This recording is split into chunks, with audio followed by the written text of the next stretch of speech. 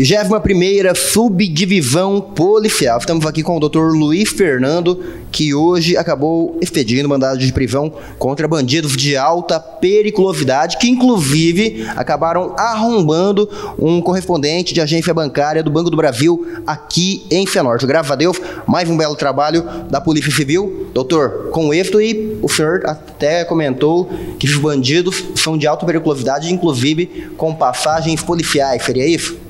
É, nós, é, nossa equipe de investigação identificou, né, através de, de uma minuciosa investigação mesmo, porque nós tínhamos poucas fontes ali probatórias, né?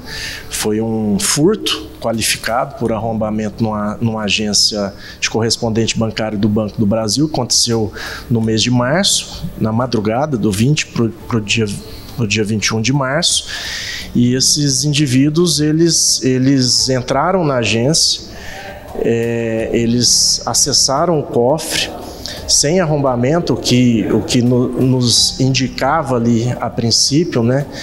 É, indivíduos, autores com profissionais mesmo, né? Então isso chamou muita atenção porque eles levaram ali é, sem o arrombamento. Então indicava que realmente eles sabiam ali o que estavam fazendo. Eles levaram 10 mil reais e 800, 10 e 800 em espécie, levaram vários chips de celulares e algumas informações bancárias ali da, da, da própria agência para ocultar, inclusive, depósitos que eles tinham feito no dia anterior, né, durante o dia.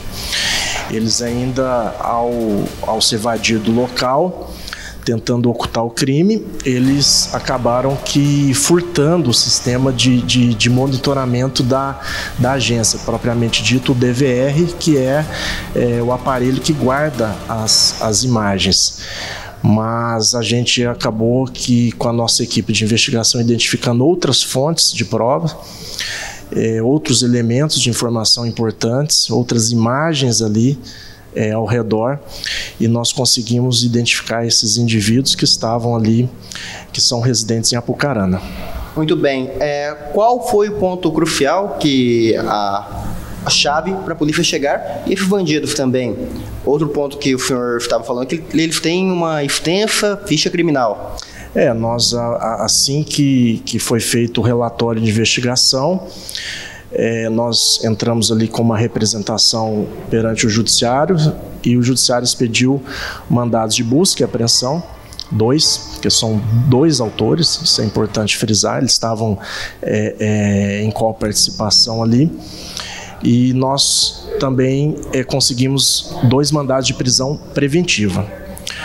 Na data de hoje, a, os policiais da 21ª Subdivisão Policial se deslocaram né, até a cidade de, de Apucarana, é, na tentativa ali de, de cumprir essa, essa operação. Logramos êxito nas apreensões de vários aparelhos celulares, identificamos inclusive na casa de um dos autores o próprio boné que ele utilizou ali no dia do crime, que foi identificado através das imagens de, de vídeo monitoramento.